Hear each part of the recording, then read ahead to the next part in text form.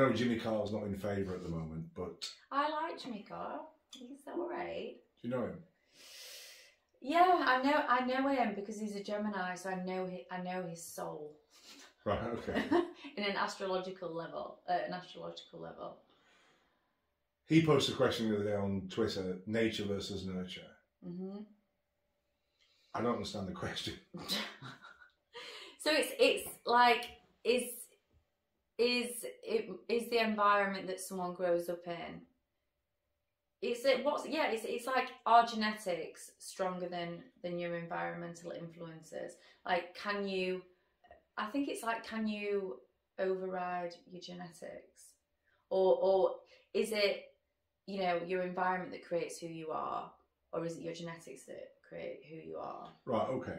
yeah. And which one's most important and can can one be stronger than the other? Why are all these questions? Which is most important? Why is everything binary? Yeah, Why is that's everything true black actually. and white? I, I, because I do think, and I know it's yeah, I do think it, it is a total mixture of the two.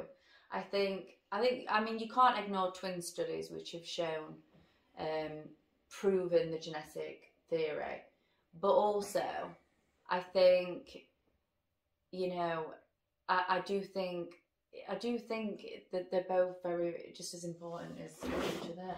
Don't you think since Brexit we've been obsessed as a nature with which is best, A or B, which is best, Yeah. chicken or chips, which is best, Yeah. Tuesday or Friday? Why, why does one have to be best? So nature versus nurture, for me, the way I look at it, right? So you've got a big block of rock hmm and you've got a big block of soap. Yeah. And that's your nature, whether you're born a rock or whether you're born a bar of soap. Yeah. And then if you try and carve out a president's face hmm into the rock or the soap, that's the nurture. That's what that's what you're adding to What, the what, thing what there is. which yeah. you, with which yeah that Yeah. you're starting with. hmm And for example, probably soap's a bad example, but a president's face carved onto rock is going to look better than a president's face carved onto very liquid soap Yeah. bubbles. Yeah.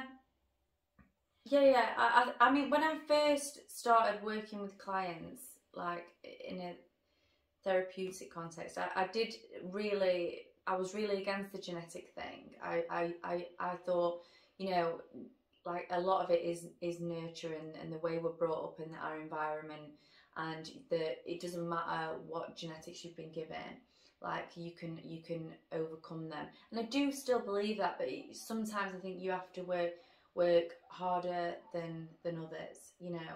But i do think a lot of behavior is is learned as well. But then you know like when i see bertie's face like already and it's not that he's learned from you because he also sees sees me even more than you but his facial expressions his mannerisms you can see already like the way the way you know when he pulls certain faces, it, it is, you know, you. So why do people go to Facebook and, and look for the binary on this? Why is it not just, of course he looks like me because he's got my DNA Yeah. in him? I think it's because people want to know that, you know, that, that you have, we- we all want to know that we have some level of control over our experience, I think. And I think that's empowering. And I think whenever people are searching through the beliefs, they're just looking for that empowerment, I think, or that sense of freedom, or a a- an excuse to not do something. Well, I can't lose weight because I've got Because I was fat, born this way. because I've got fat genes. I've got big bones. Yeah, I'm just big boned. Yeah. When when when you know putting on weight is is just a you know it's just a mathematical equation. Yeah. If you So- if you eat less than less than what you need, you will lose weight. So it's just. So don't we just look for excuses all the time? I think we do. I think it's just about people. You can either create beliefs that empower your life and, and support the vision of yourself that you want to create, or they can disempower you and give you excuses so that you don't live up to that potential. I think that's ultimately what what it get gets down to is, you know, do I want to use this as an excuse, or am I gonna, you know, use this as a oh, I've just had a realization. You.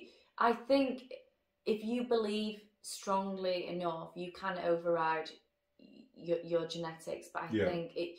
But some people do have to work harder than this. I do think some people just have more of a negative, pessimistic, pessimistic temperament. Bertie, for example, he's just so smiley. He's the smiliest baby. Like everyone comments on that. That's his temperament, isn't it? And you see it in dogs, breeds of dogs. Like they're all dogs, they're different breeds of dogs, aren't they? And they're different temperaments. Some are more aggressive. Some are softer. So that's nurture because they say there is no such thing as a bad dog. There's just a bad owner. I, That's purely nurture. mm, That's blaming it. I think that's no, I. I, I, I think that there are more aggressive dogs out there Well, I think so. Yeah, yeah. That's why certain dogs are banned. So that's certainly nature. Like a blue, like blue. Uh, is it blue stuff? Is that a band? I don't know. So you can have a really aggressive. You can have an aggressive Jack Russell crossed with the golden retriever of the toilet paper adverts.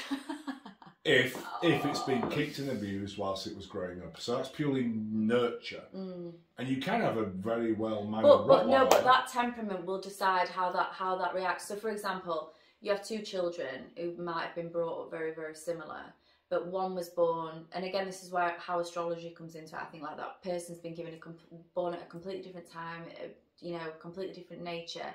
So one can become the most empathic, love loving, compassionate, you know, human being there is, and the other one can can respond to that abuse and become Okay. a narcissist. So for before the time runs out, you now have to choose. You've got the choice. Ooh, You can choose. I have to choose. Yeah, that you were born 3 0 up, as we say, great genetics, from good blood stock, hmm or you can be born without all that, but in an incredibly caring, loving, nurturing environment. That one.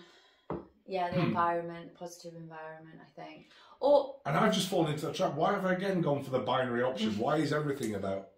because It's since because Brexit, Laurie. Really Since Brexit, people have had to sad, be?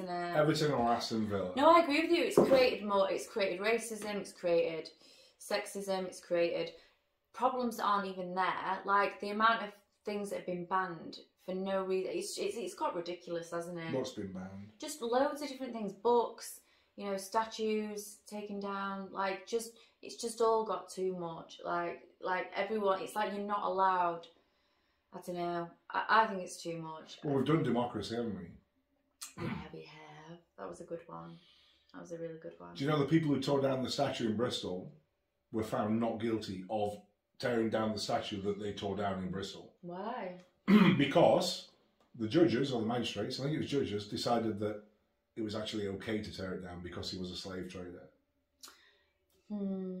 Which was not the offence. That, it's not whether it was okay to tear it down. It's did they tear it's, it down? it's the laws isn't it yeah in in in that I think this is where populism done- it's done- populism has actually invaded our legal system now. Yeah, and and it's not. Yeah, it, it's not okay. Like we, I, I I do think though we, we've. I, I don't know. I know what you're saying about the binary thing, but then I think we're becoming more, you know, where people are afraid to share their opinions now, and sh- af- afraid to share that. It- know, Do you really? up. I see the opposite of that, honestly. Really, I see people sharing opinions of which they've got no blooming factual It- backup. Yeah, but everyone's getting. um Yeah, yeah. Can, And you, can you give me an example? Yes, Jack Smith, who's never studied politics in his life, is suddenly an expert upon Brexit, upon Boris Johnson, Yeah. upon global warming, upon the EU tariffs, upon whether Rus- Russia will invade Moscow. W- Won't do that, obviously, because it owns it. You know what Oh, I we should do that one next. Will he invade or not? Or is that a bit mean? Who's will he invade?